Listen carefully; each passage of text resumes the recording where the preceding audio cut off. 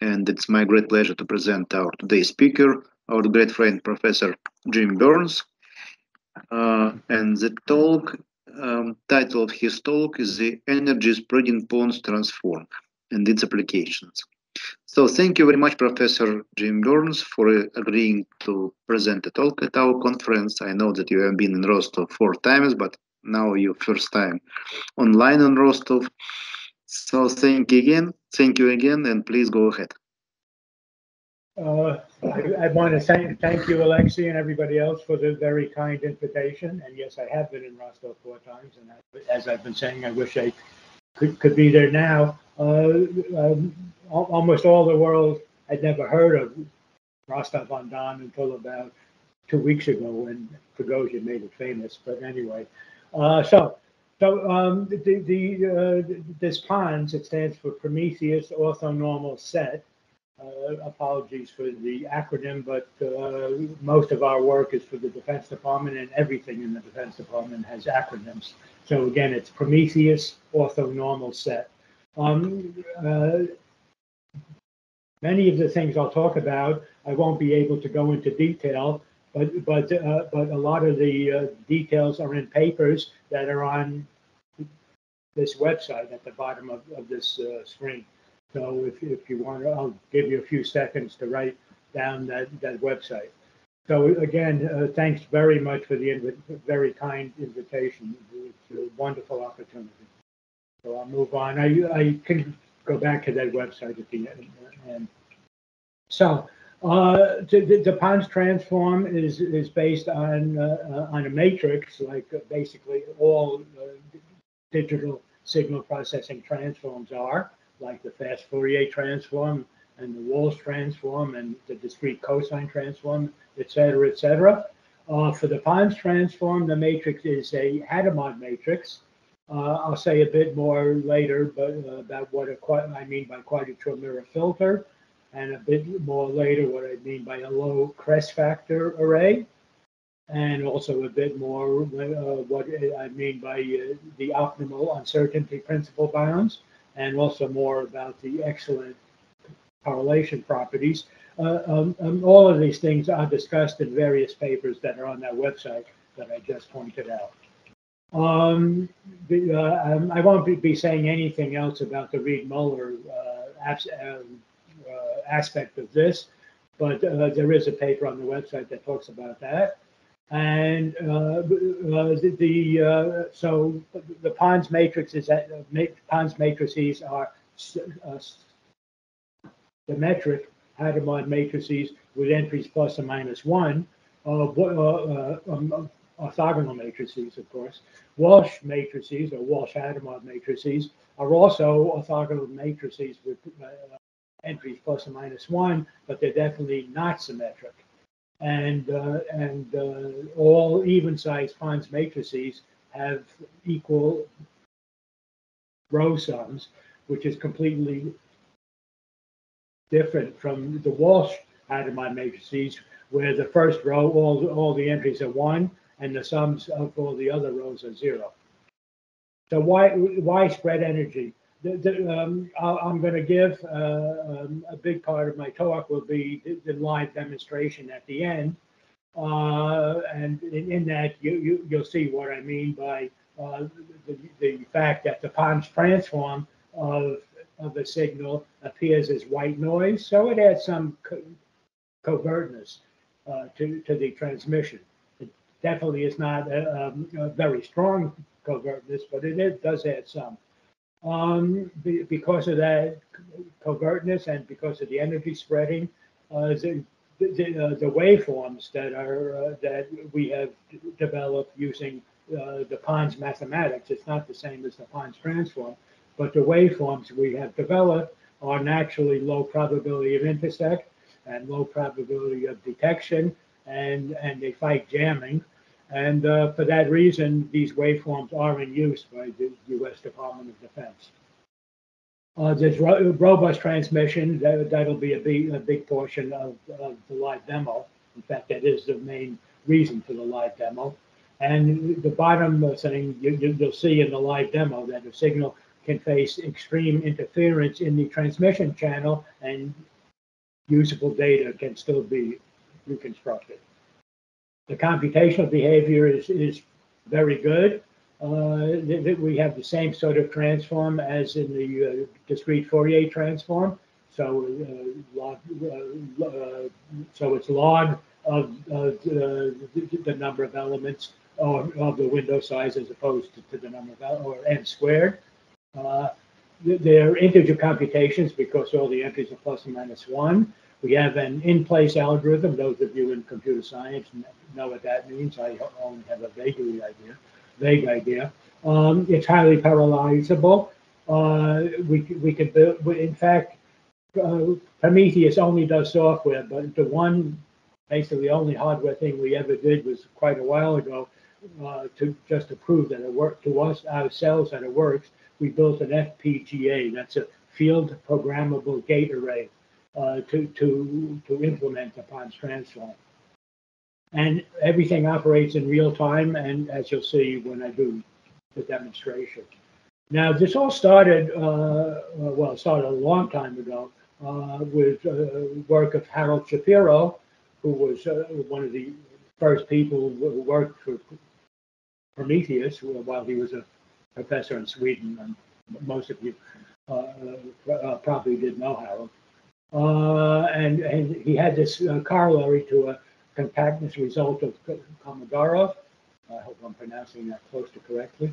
Um, it's impossible to have uh, an infinite orthonormal set where all of the functions in the set and all of their transforms go to zero to uh, at infinity too quickly. By uh, too quickly, I mean that that uh, specific bound there was p where p is greater than a half. That's impossible. So the question was, uh, can you do it if p equals a half?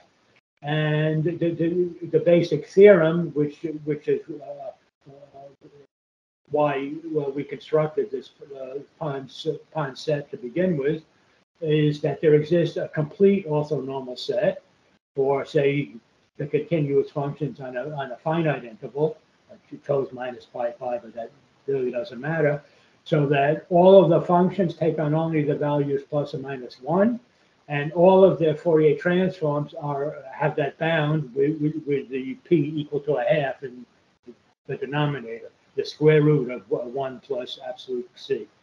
And a corollary of that is, is a global uncertainty principle. There's a complete orthonormal set for L2 of the line such that star, which was that thing where, where, P know, um, equals a half, such that star is true with, with, with P equal to a half is satisfied for all F in that set. So, so that, that, that uh, shows that, that P uh, equal to a half is the true uh, uh, point where, where it breaks. And um, for p greater than a half, it's impossible. For p equal to a half, you can in fact not only get an infinite orthonormal set, but a complete orthonormal set. Uh, I do want to say that that going from the theorem to to the corollary in, in the paper that, that, that is online, there is an error in, in that. It works at infinity, the, the, the, going from the theorem to the corollary, but it, there's a problem at zero that has been fixed but not published. And it's a long story. It was fixed uh, uh, by um, uh, Kautsky from from uh, uh, Prague and from Australia, um, who unfortunately passed away two years ago or so. Okay. The, the underlying construction is based upon this beautiful uh, construction by Harold Shapiro in his master's thesis at MIT from 1951. It's an amazing document. Uh, I'm pretty sure I, I have that on that website. I have that that master's thesis on the website. Uh, most of you would know that Harold passed away not too long ago as well. But it's such an elementary and beautiful construction, a recursive construction of uh, two polynomials of, uh, for uh, uh, each of degree two to the n, uh, where the coefficients are plus or minus one. And it's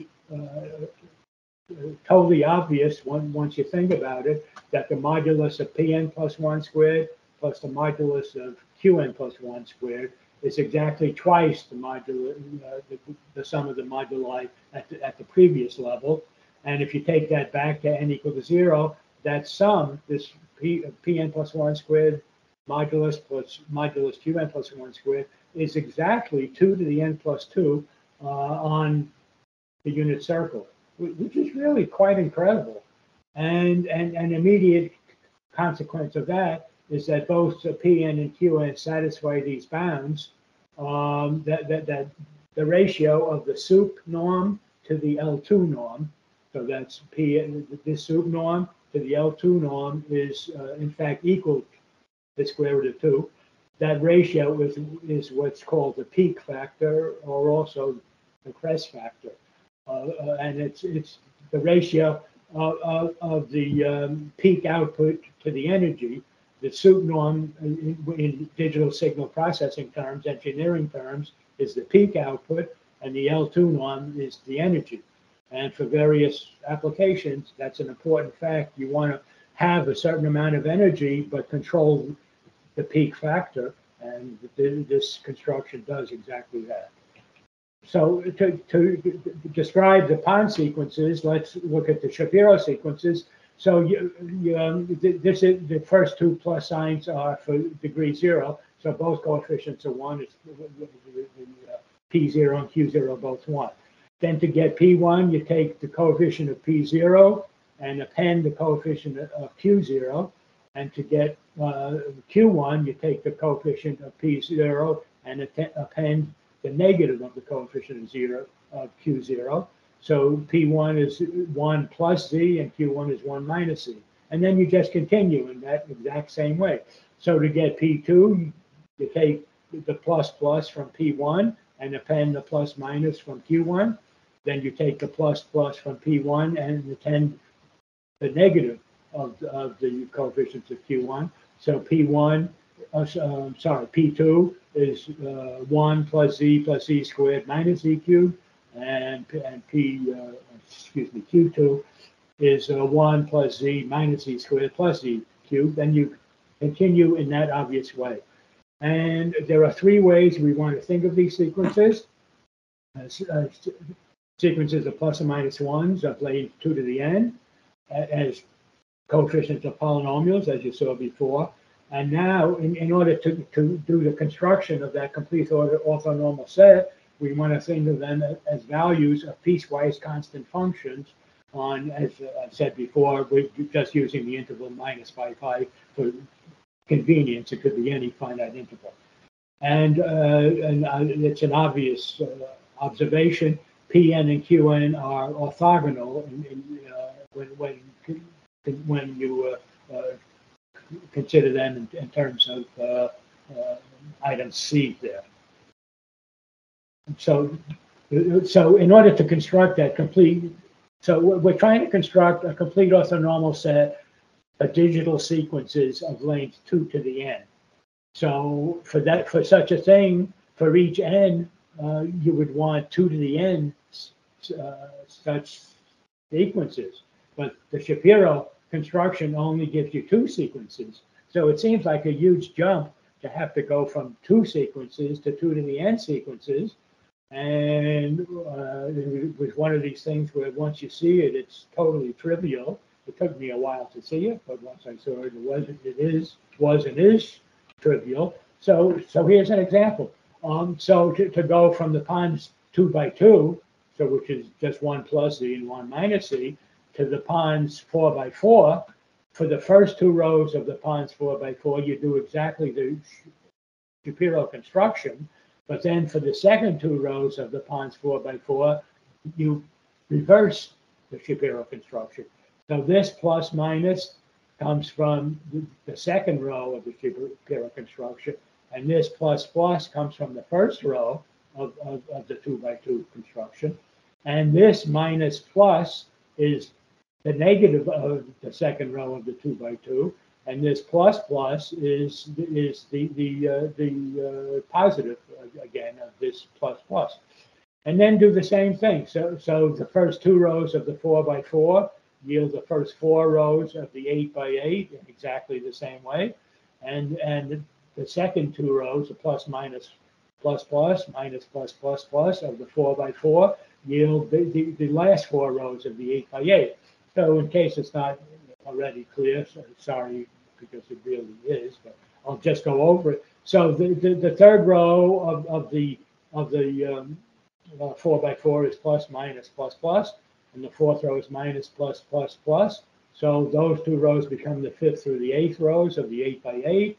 And the fifth row is this plus minus plus plus from the third row. And the, the minus plus plus plus is the negative of, of what's in the third row, uh, et cetera. I don't think I have to go into any more of that.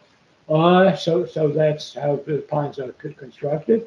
Now, the, the mathematical properties uh, uh, follow basically in an identical way from uh, that the same exact properties uh, follow about the Sh- Shapiro polynomials and the Shapiro Shapiro sequences.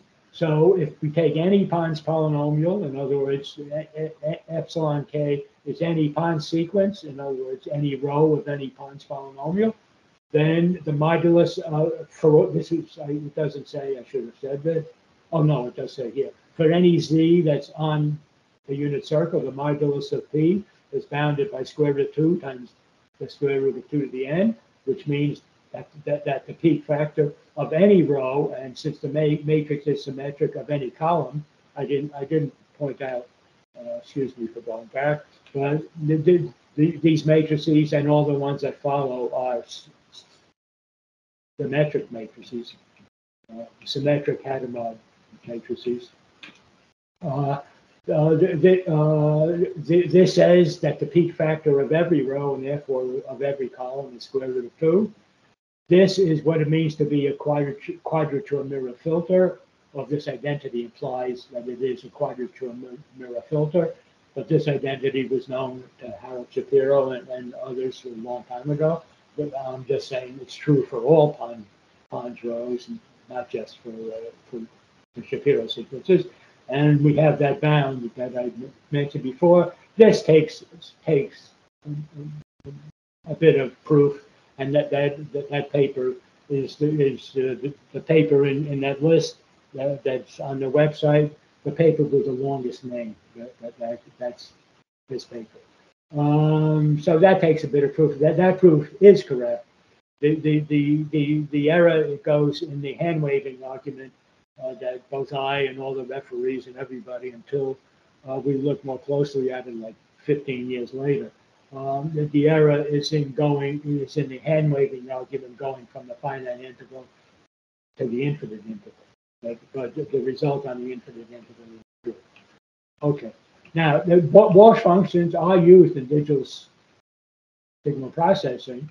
And uh, as, as uh, we saw, they, they're piecewise constant, take on only values plus or minus one. They do from the basis, and they, they are useful in all, all sorts of applications, and they are in fact used in, in all these applications. And um, in some uh, some environments, the usefulness is hampered because Walsh polynomials have the worst possible crest factor. That's totally obvious because the first row of, of every Walsh polynomial is all ones. So the crest factor is the length of the sequence, which is as bad as possible. They're not quadrature mirror filters, and the Fourier transforms decay as, as slowly as possible. Um, so I won't say any more about that. Uh, Pons adds to the Walsh function. It satisfies all those uh, Pons, all those Walsh properties.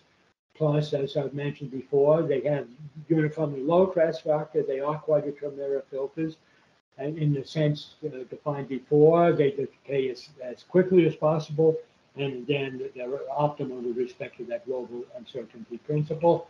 Here's just an example, one example of the, the correlation map magnitude. This I just happened to take uh, for lengths 64, but, but the same thing works for, for any length uh, uh, for Pons polynomials. Uh, I should, uh, I mentioned a couple of times, or I didn't explicitly mention, all, all the polynomials have lengths two to an integer, positive integer power. So you, you see here, the, the, the, the, the, these are the periodic autocorrelations. they're really quite amazing. They're, they're identically zero from minus a quarter of the length up to plus a quarter of the length. All of the uh, auto, autocorrelations, periodic autocorrelations are identically zero. And outside of that interval, they remain small. Whe- Whereas Walsh is zero only, only at the, the, the, zero, uh, sorry. Uh, I'm sorry, sorry, no, no. Uh, uh, So that's, that's, uh, pardon me for that. The, so that's about the periodic autocorrelation.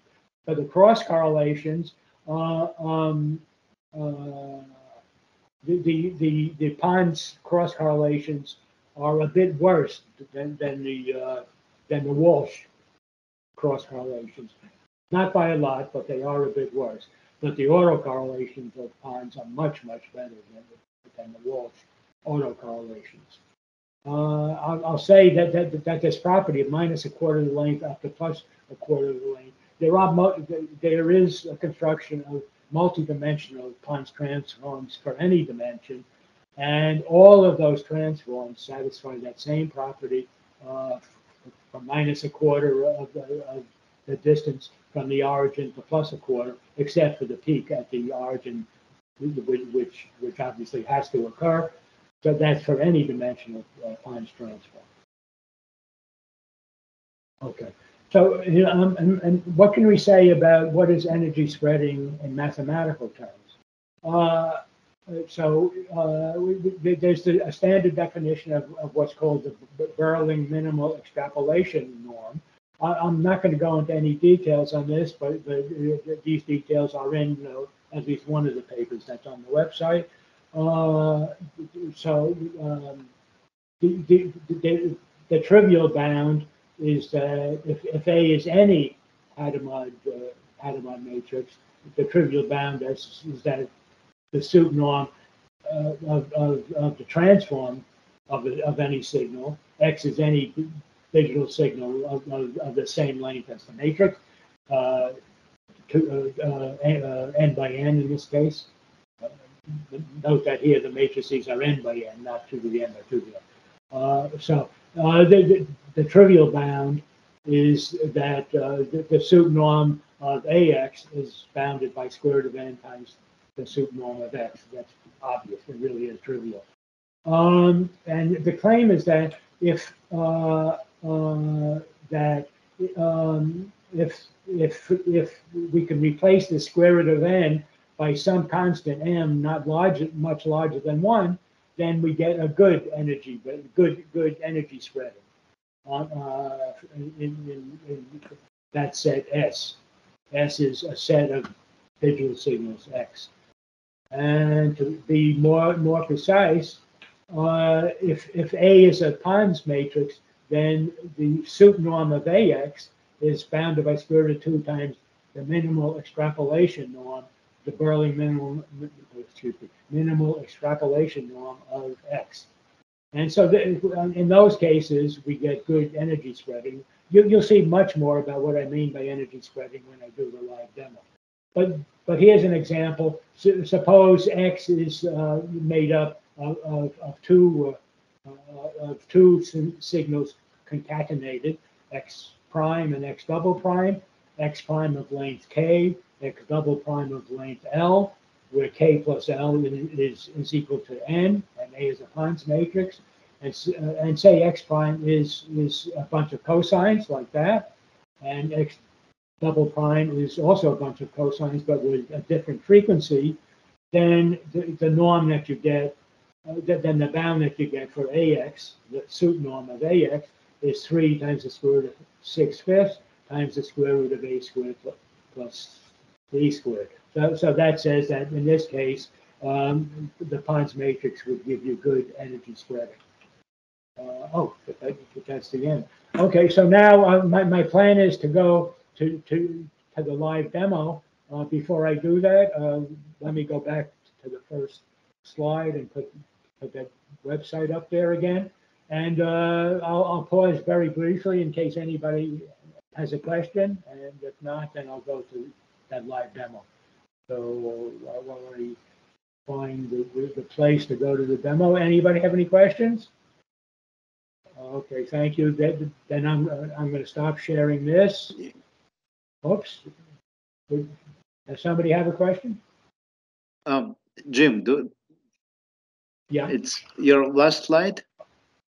yes. Okay, okay, well, thank you very much for, for No, very no, nice no. presentation. No, no, no, uh, now I'm gonna give the demonstration. Ah, because you asked about questions. Usually we have questions after the talk. Yeah, yeah, well, well, I, I, I want, before I close the slides, I, I guess I wanted to see if there are any questions. I see, I see, I So see. I'm- so Maybe I'm questions stop- later, after. Yeah, so I'll stop the sharing, and, and now I'm gonna share the, um, the demonstration, and let me get to it. And this is this one, and this, and share. Okay. So, do, do you see this, uh, uh, uh, Yes, Strange we see Yes. the picture. Okay. Yes, Okay. So what is this strange looking thing? Uh, be, be, because we, we want to, to give a, a demonstration, uh, as I said, Pons, the Pons transform, uh, works for any dimensional signal. But since an image is something you can see, we do it, we do the demonstration for two dimensional signals. Now, why, a page of text? Ordinarily, if you want to transmit a page, a page or a bunch of text, you would not take a picture of it and transmit it, but it's, it's just a good way to, to show an example of what, what's happening. So that's why we use a page of text. Afterwards, if somebody wants, I can also use an, an, an image and do the, the same demo. Now, what's on the left is the, the, the original signal, and what's on the right is the Pons transform of, of that signal. And you see on the right, it, it, it, it's, uh, it exhibits what I mean by, uh, by, by energy spreading and by the, the Pons transform version of the signal looking somewhat like white noise. The image on the right looks like white noise. I'll also say that, that, that I want to point out that, uh, uh, that these algorithms are, very computationally efficient because, because of the fast transform, uh, the log, log uh, n uh, uh, order, and because it's in place, and because the, the, the, the coefficients are all plus or minus one. So when I click this display inverse button, it's going to take, do- doing live, take the inverse transform of what's on the right, and because it's an invertible transform, when we take the inverse, we, we, we get, get exactly what's on the left. So now the idea is, suppose we send this signal through, uh, through uh, a uh, transmission channel, and suppose there's noise in that channel. We're going to simulate the same exact noise you know, on, on both sides of, of this image. So the, the um, uh, and so we, the simulation is, uh, is going to answer the question, what happens if instead of transmitting the original signal, we, we transmit the Pons version, and then once we receive it, we take the inverse transform. So the, these button, buttons on the bottom allow me to introduce some, some, some- noise in, in the signal to simulate noise that occurred in the transmission channel. One thing that, that, that happens, that can happen in transmission, um, for example, something you're all uh, quite familiar with in audio is uh, you can get some static where portions of, of, of the uh, audio are just uh, totally destroyed. But uh, again, I'm, I'm doing the, the example for an image because it's something you can see. So suppose I introduce some block loss and maybe a bit more. So, so that, that, uh, maybe even a bit more. If I introduce too much, then, uh, then the total signal would be destroyed. But let, let's say I introduce that block loss. So now, if, you- if you transmit the image on the, on the left, we, uh, uh, uh, we, we, uh, the- the original that was there, without doing anything else, and, and there's that noise in the transmission channel, what's on the left now is what you will receive.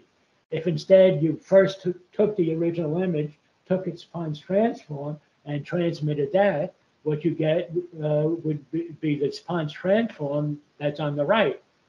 Uh, and but uh, if you take the, the inverse transform, all that noise that, that that's that was blocked out on the left, all that noise there, all that blackening out, gets spread around this image when you take the inverse, and it's very noisy, but it's some, something that, that you can read. So that, that's that's kind of that is the basic idea. Now let me go back and and start over. Oh, sorry, there's my uh, other button. Go down lower, one second. There it is. Uh, now I'll go back and now I'll introduce uh, block noise. We also have buttons for additive white Gaussian noise. All these buttons are, are, are choosing places in the image at random to, to add noise and add some speckle. Uh, um, uh, standard digital signal processing or, or, or, or image reconstruction algorithm have, uh, have problems with speckle. Uh, so now, if, if, if you trans took, uh, took the original and transmitted it, and, and all, all of, and, and the transmission channel had all that noise, then what you would receive would be the, the image on the left. If instead you took the Pons transform and transmitted that, what you receive would be the image, uh, the, the, the, signal, or whatever you want to call it, the Pons domain version of the signal on the right. But if you take the, um, if I haven't added too much noise, I'm going to click this. Again, it's operating in real time. I just clicked it and you can read it. So that's uh, that's my live demo. So now uh, I, I, can do more examples uh, if anybody wants, but uh, now I really am finished and open to questions. If anybody has any uh, any questions, any comments. Okay, now thank you very much for very nice talk and very nice presentation, and we have time for questions.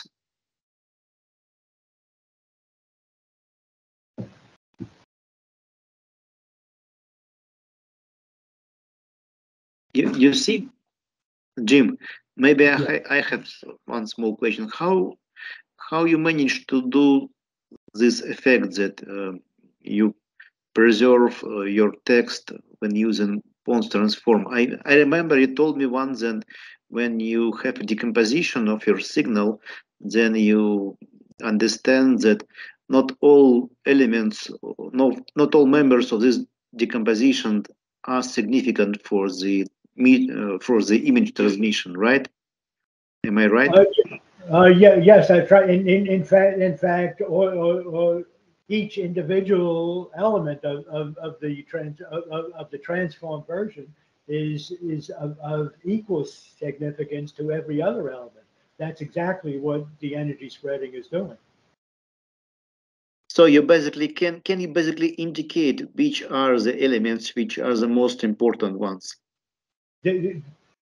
there are no most important elements. That, oh. that, that's, that's basically the point. They, they're all of equal importance. Whereas if if if uh, so the, the, to be clear, this demo I gave in, in, is not where where we we have eliminated uh, some portions of, of the transmission. We we have transmitted the entire thing, and the, the, the, noise has been introduced during the, in, uh, during the transmission in the transmission channel. We could do do another demo where we we, we take the original, we take the, the transform, we, we, we throw out uh, um, say say half half of uh, half of the terms, and then do the inverse transform. And it um, for for audio, we, uh, I don't have it available. Uh, it might have been on the web, but I'm not sure. Uh, for, for, for audio, that, that was basically the, the, the first thing that we did when we came up uh, with the thought that that this uh, Pons transform might be applicable to digital signal processing. For, for audio, um, uh, uh the, the, standard uh, at least it was when I knew something about this, which was quite a while ago. But but the standard way to compress audio is to do psychoacoustic modeling. Uh, one, uh, that's a portion of, of, the standard way to do psychoacoustic modeling of the audio signal and try to throw away things, uh, portions of the audio signal that that the the, the, uh, um, the, the human ear would not hear anyway. And that, that that's a large portion of how audio signals are compressed. Uh, what, what we did for compression, say you have 16 bit per sample audio. And um, um, what, what we did, um, instead of doing any modeling or anything, we just take in every coefficient, take say the top, uh, the bottom x bits. So instead of 16 bits per coefficient, we, we only uh, transmit the top whatever eight bits per coefficient or four bits per coefficient. And uh, and uh, on, on, the receive end, you, you do the inverse transform and see what it sounds like. And if you only keep the top four bit, I, know the, the, sounds of uh, well, I'm using the word sounds maybe with tongue in cheek, but anyway. Uh, but uh, so uh, sorry to, to, to, go on. So uh, so even with four bits uh, per sample, it's very hard to tell the difference between the original and the Pons transform version with one bit per sample, so one out of 16. So basically a 15 to 1 compression, which, and again, the compression is, uh, computation is, is instantaneous. Uh, for, for even one bit out of 16, what you receive, it's extremely noisy. But if it's a voice, you can understand what's being said. If it's music, you, you you can hear what it is. It's an extremely noisy version of it, but uh, so so that's something that, that we did early on. But so basically, they, they, there are no elements in the transform domain that are more important than any other elements. They're all uh, basically equal importance, and that, that, that's a major portion of a project that we're we're, we're in, in the middle of now for the uh, national reconnaissance office. I see. Yeah, I remember you showed us sometime uh, pictures, and it was really ama amazing how you recover these uh, images.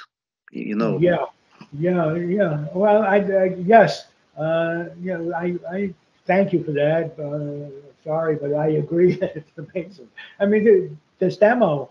When I first saw this, I couldn't believe it, but it really is. It really does what it what I just showed and it does it in real time. Now, maybe maybe I, I should do also do do this with an image instead of with uh, uh, um, with with with with, uh, with, with, with, a picture. Uh, let's see if if you would like me to take another couple minutes, I can do that. Yes, Otherwise, of course. Yes, you have you have time, of course. Okay, so let me find uh, find it. Uh,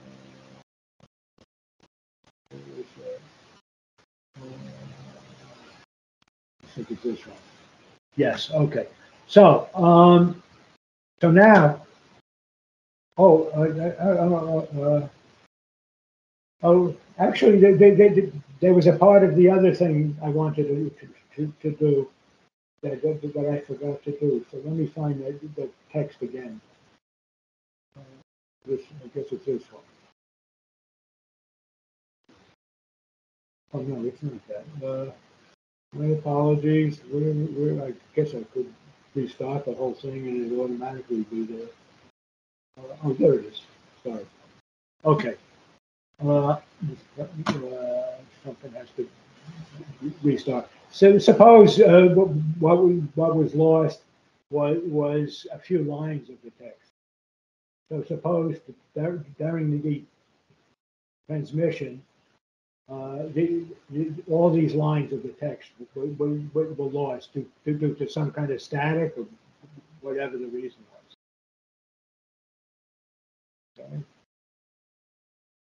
Uh, when I take my finger off the mouse, the, the same noise will appear. On, and suppose there was also some added white Gaussian noise, and a bunch of that, and some speckle.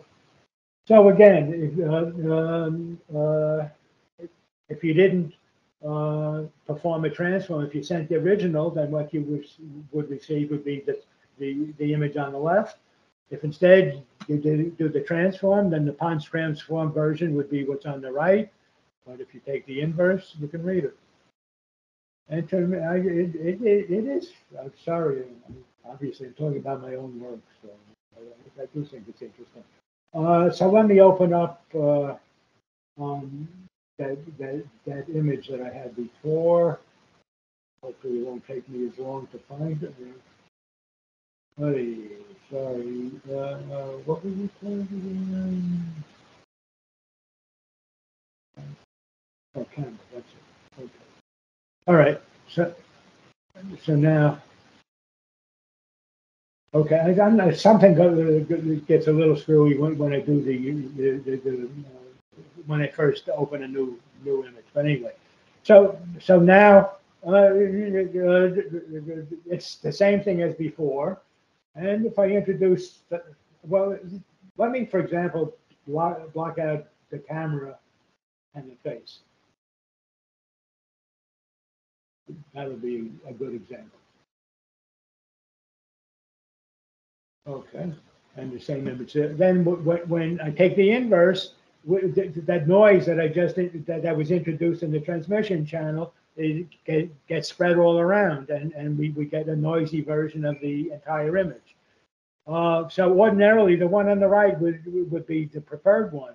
But if, for example, you were specifically interested in, in the, the face of the person or in knowing what ty- type of, type of, uh, sorry, sorry, no, I'm saying this wrong. If instead you were specifically interested in, in this tower here, or in a clean, as clean a version as possible of this tower or of this building or of this building, then if, if, if you, uh, receiving the image on the left would be preferable to receiving the noisy version of the image on the right. So it's not always, uh, always a mir- miracle. It's not always the best thing. Uh, best thing since sliced bread, is to quote an English expression, but, uh, but it is of interest. So, um, so, okay, now I truly am finished. I'll try to answer any questions that you have. Okay. Thank you for very nice pictures. Yeah. Maybe more questions?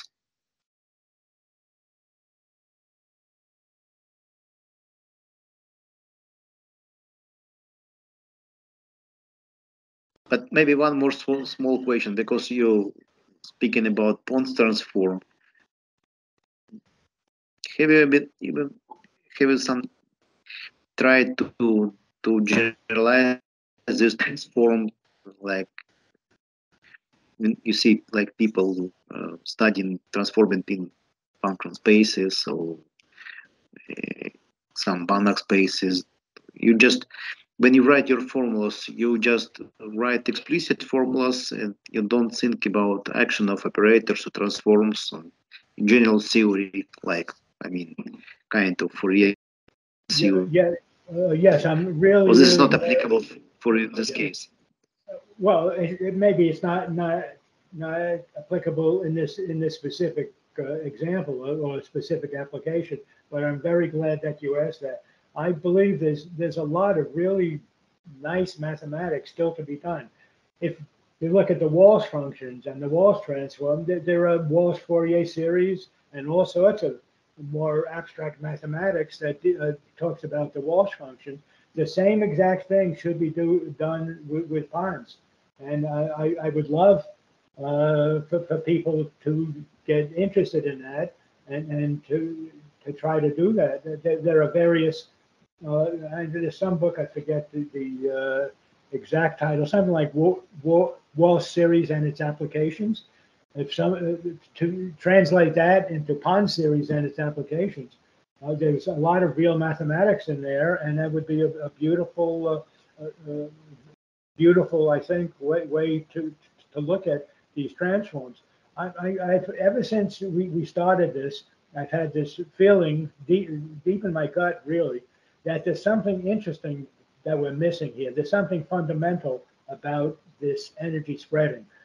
Just to give you uh, two crazy examples. One, um, uh, I, I, I've uh, had people, I, I don't program, so, so I've, I've asked people from Prometheus and they have and haven't found anything, but yet, but I've asked them to take a look at the, the, the signals uh, that are now available from the, uh, the search for extraterrestrial uh, um, um, intelligence and try applying various Pons transforms on, on those signals. Because a natural way to try to transmit things from deep space, because of all the transmission noise that could, one could encounter, would be to use some, some sort of energy spreading transform.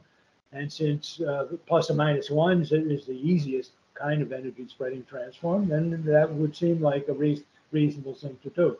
Uh, um, um, another one is I, I, saw an article ages ago in the New York Times about a, a brain scientist named Rodolfo Llinás, L L I N A S.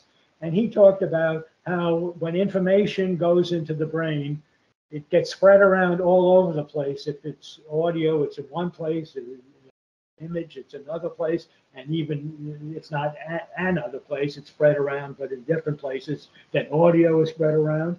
But somehow, when you want to get it out, somehow the brain puts it all together and uh, and uh, presents it to you. And the language he was using in, no, in in discussing that was exactly the language we were using when talking about the Pons transform and what it's doing. So I wrote to Rodolfo and we, we, we had an, an exchange. We exchanged papers and I couldn't uh, understand what he was writing and he couldn't understand what I was writing. And it just dropped. But I think there's something fundamental about energy spreading transforms that's being missed. And one day somebody will, will, will see it.